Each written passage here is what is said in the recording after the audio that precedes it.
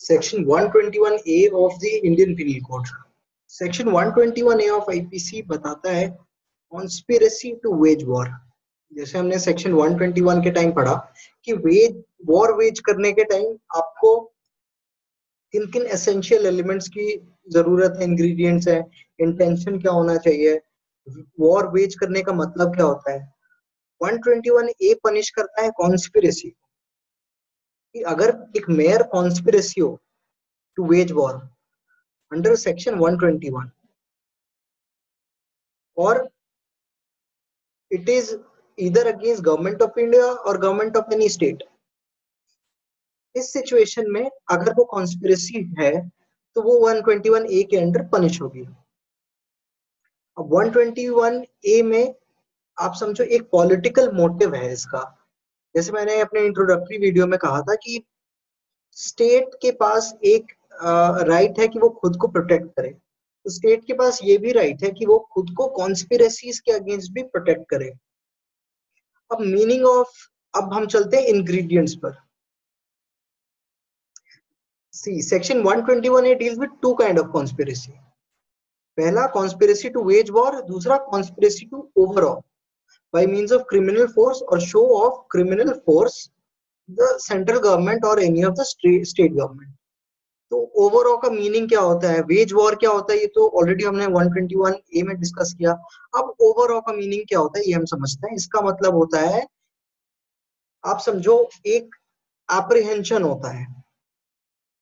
Alarm का डर होता है किसी चीज़ का फियर का। लेट्स से ओवरऑल का मतलब मोर देन एप्रीहेंशन ऐसी सिचुएशन जहाँ पे आप गवर्नमेंट को यील्ड करा रहे हो मतलब आप उनको फोर्स कर रहे हो कि वो अपनी बात माने। ऐसा कुछ आप कॉन्स्पिरेसी कर रहे हो जिसे तख्ता पलट। हो तो ये हो गया ओवरऑल का मीनिंग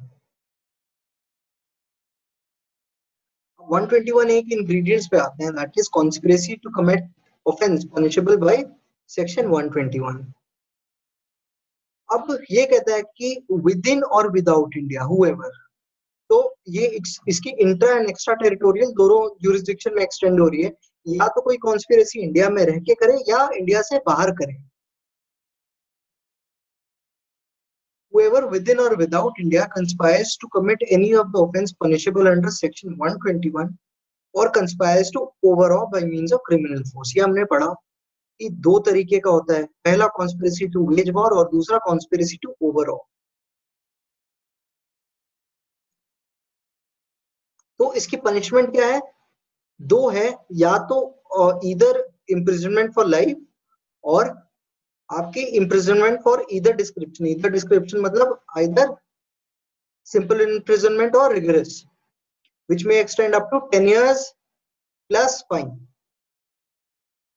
अच्छा अब एक जैसे हमने कॉन्स्पिरेसी में पढ़ा था, जब हम सेक्शन 120 ए डिस्कस कर रहे थे कि क्रिमिनल कॉन्स्पिरेसी के लिए अगर एक तो दो लेग्स हैं उसकी, या तो इलीगल एक्ट हो या legal act in illegal way 120 A में हमने पढ़ा कि अगर इलीगल एक्ट है तो उसके लिए कोई ओवर्ट एक्ट होना ज़रूरी नहीं है mere agreement is sufficient in the very same way 121 A में to constitute a conspiracy 121 A के अंदर ये कोई ज़रूरी नहीं है नेसेसरी नहीं है कि कोई एक्ट या इलीगल ओमिशन टेक प्लेस हो, कोई एग्जिस्टेंस हो इन दोनों में से किसी भी एक का।